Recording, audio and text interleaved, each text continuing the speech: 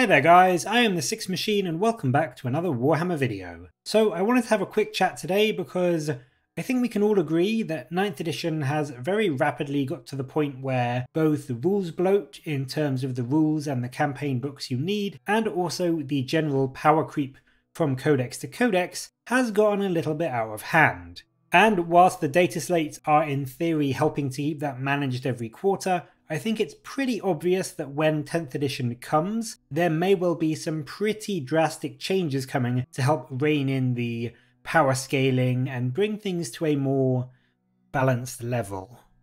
And whilst we don't know when 10th edition is dropping, I would be inclined to say the summer of 2023 personally, so just over a year away. But I wanted to today, because I was thinking about it, run through a list of five things that I would personally like to see changed up or amended slightly to help keep the eventual 10th edition of 40k a bit more manageable and just a bit more fun. So let's dive right in and go through the things that I would like to see in 10th edition. It's worth noting, of course, that as of Warhammer Fest the other day, there have been a few new additions announced with the changes to how command points are generated, as well as a move to free points in the app and on Warhammer Community. So that, to an extent, does help solve a few of the things that I have been thinking about and that I was going to talk about. It is not a complete fix though, but it is a step in the right direction. First thing I wanted to talk about is the issue of stratagems. Now, I personally love stratagems. I think they're a great addition to 40k, and I think they're really fun and really interactive, and I do enjoy using them. But I also think that, quite honestly, you could right now just disappear half the strats from all the codexes and I bet you for a lot of us there would be some that vanished that we wouldn't even notice because we had never even read the entry, let alone used it in a game. There is just so, so many of them, and if nothing else, they're pretty much just wasting paper a lot of the time. What I would love to see is a drastic reduction in the number of stratagems in the game, and this is where I might lose some of you, but bear with me. Instead of having access to all of them every game, maybe you could choose before the roll off to see who goes first, 5 or 6 or 7 or 8 or 10, I don't know, whatever number they decide upon, that could be your, and here we go, this is where I'm going to lose you, that could be your deck that you bring to the game. This would mean a lot less to track in the game for both you and your opponent. It would help to get rid of all the page turning and having to explain stuff to your opponent. It would get rid of a lot of the horrible gotcha moments where you use a strat or your opponent uses a strat that you had no idea existed and it's just it just ends up being like a feels bad moment because you weren't aware of it at least if you knew your opponent's deck you would have an understanding or an idea of what they could do and watch out for it when you were you know planning out your your battle plans I think also it would add a lot of tactical depth and decision making to both the list building and the pre-game stages of the game like deployment, which I think would be really cool to have. They could make it so that the number of stratagems that you could bring is based on game size or detachments or I don't know, something like that. And this would also help tie in with the reduced command points that they are introducing in the game in the next chapter approved. So you would have to be really sort of cautious and careful as you were putting your list together to choose the right stratagems and make sure you had the ones that you knew you were going to be using. And then you would also still have to decide are you going to blast them all off turn one? And in which case, if you do, you may be lagging behind for the rest of the game. Or are you going to choose some stratagems that may be more effective in the late game and you will hold on to your command points and then in turns four or five, you know, use some stratagems to turn off OBSEC for your opponent, steal some objectives, or get some last minute secondary points, and it would just add another layer of nuance and depth to how you approach the game, I think. The next thing I would like to see change slightly is just the sheer amount of AP in the game. This is a big part of the power creep issue in the game at the moment, I think, and has meant that Almost every gun in the game, even infantry guns, now pretty much ignores at least one point of armor, making things like the previously powerful 3 up armor save just feel really quite rubbish nowadays. Of course, again, they've managed to fix that somewhat for some armies with the Armour of Contempt, but I do still think that in general, there is way too much AP on on every gun, pretty much in every army throughout the game. I would personally make a blanket rule that at base level, no basic troop infantry gun should have AP. They could maybe get it via things like sixes to wound for things like the Aeldari Bladestorm or whatever, but I think GW should maybe diversify and instead of just using the same reworded, renamed rules over and over again, cough transhuman physiology cough, they should introduce other rules to make armies feel different and unique and fun and fluffy. And one example that I was thinking of is why not let Necron weaponry, the Gauss weaponry for Necrons, on a 6 to hit, auto wound models with the vehicle keyword?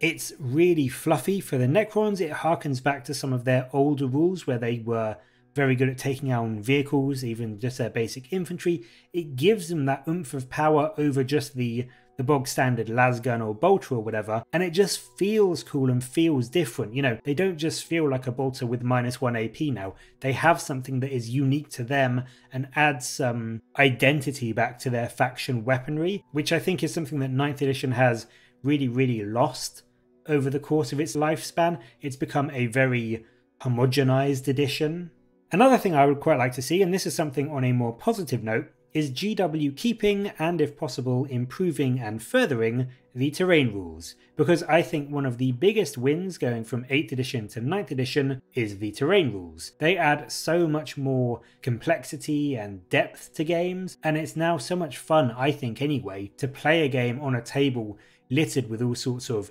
dense terrain and barricades and ruins and forests and all that kind of stuff. It really does add so much to how you play the game and it just makes it so much more fun. So I definitely think going into 10th edition, they should keep going with that, improve upon it, add to it, and they can really go as far out as they want because the good thing about terrain is it's one of those things that you can decide with your opponent before the game. So you can really go all in and make it as complicated and as in depth as you want. Or if you just want a quick, simple game, you can just say, okay, everything here counts as a ruin or a building or a forest or whatever, and just make it nice and straightforward for yourself. They could even introduce maybe some kind of create your own terrain mechanic, which I think would be really cool. And you could choose some attributes that a terrain would have so that if you were running, say, a campaign on a sandy planet, you could have hypothetical quicksand terrain that would, you know, reduce your movement by half if you try to move through it or something like that. They could just really go all out and then let players take as much from it as they want or just take the bare bones that they need to get by. I think it would be a really good idea and it would add a lot more in terms of adding the fun and the interaction to the game because when Ninth came out, they said that terrain was going to feel like the third player. And I, I think it has done that. I think they have done a pretty good job with that. But if they can expand upon that and make it even more engaging and interactive and fun, I would be all for that. The next big thing I would like to see changed is rerolls. And by changed, I mean pretty much get rid of them. Sure, maybe a few niche examples can stick around, maybe in a stratagem or from your warlord or certain characters for certain units, you know, things like Guilliman or the Swarmlord or Gaz or whatever. But in general, Stop letting so many things give rerolls out, because let's be honest, even with the core limitations that most rerolls have, it really isn't hard to get almost your entire army rerolling almost everything these days. And it just leads to escalation, which results in things like Harlequins, which don't let you reroll against their vehicles and have all these other weird janky mechanics that basically just turn off what you can do in the game, which is never fun, why not just cut the problem out at the root and limit the number of rerolls that players can do in general? Not only would it save time, it would make the game a lot simpler, and more importantly, it would help to massively curb the damage output of armies and mean that it's a lot harder for your opponent to shoot your army off the board turn one if they get to go first. As I said, there should still be some ways to do it because it is a cool, unique buff to have on those rare occasions, but it being so commonplace like it is now, it just it, it just doesn't feel fun anymore. It just almost feels expected. It's getting to the point where it's kind of similar to transhuman physiology, where what was once a really rare rule that made it really unique and fun and cool to see is now everywhere. So it's just like, oh, you've got transhuman. Okay, that's cool. You know, it just takes away the the enjoyment of it so much.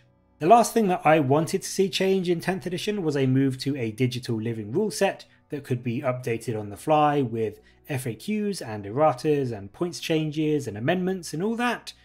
And as of Warhammer Fest, obviously they seem to be taking a step in that direction. So whilst I think there is still stuff to be done from that regard. There is still a case to be made for going fully digital with everything, having all of the rules and updates completely online, and just having the codexes for fluff and lore and art. But I don't want to use that as my final wish list option for 10th edition because that is a fairly recent change that GW seems to be uh, working towards anyway, perhaps. So I will end with this one. No more campaign books. No more spreading an army's rules over a codex, a white dwarf, a supplement, a warzone book. None of that, or at the very least, none of that until all of the main army codexes are updated for the edition. Because seeing various factions get numerous supplements and armies of renown before an army like Astra Militarum even gets their codex for the edition is just frankly ridiculous. I get they want to sell new things and introduce new ways for, for people to play their armies and use their codexes, but just get all the main codexes done first. That should be the main focus for the rules writers, surely, when a new edition drops, getting every army up to date. And can you imagine if all the people that had written on and developed the rules and tested all the various Warzone books that we've had through 9th edition and Armies of Renown, imagine if they had all just been working on Codex Chaos and Daemons and Astra Militarum. They would all be out by now. And then GW could do some end of cycle supplements and campaign books to bring struggling armies up to, to baseline and introduce some cool new armies of renown for people to play around with. It's just such a backwards, stupid way of doing things, I think, and means that some players don't get anything new or anything to look forward to for years and just have to watch as Marines or AdMech or whoever it may be gets Army of Renown number 3 with more cool, unique rules and interactions, whilst the poor Astra Militarum players in this particular scenario are just stuck with an out of date book. It just feels bad and it's just stupid. So there we go, just a short list of the changes that I personally would love to see going into 10th edition. And I think they would make the game better and make the game more fun for everyone. Now, obviously, there are loads of other ideas and uh, suggestions that you may have. Maybe a return to things like universal special rules could be one that you think strongly about. I have probably missed out on loads, but I just wanted to narrow it down to five. So let me know what some of your ideas are for what would make 10th edition better for you. Let me know them down in the comments below, and as always, thank you very much for watching. Please do like and subscribe for more Warhammer content from me. And until next time, I'll catch you later, guys.